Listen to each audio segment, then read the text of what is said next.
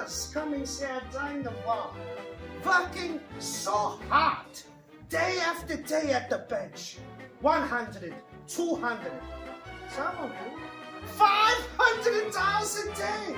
So excited to be part of Avakia.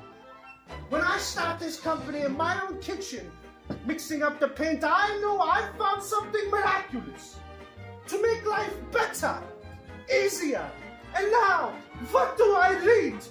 More and more uses are there for the radio. Radioactivity is one of the most remarkable agents in medical science. I drink Radithor myself every day, and I can vouch for its effects. He told me it would help my rheumatism, so I drink a bottle a day for a week. Wasn't cheap, but it was worth it.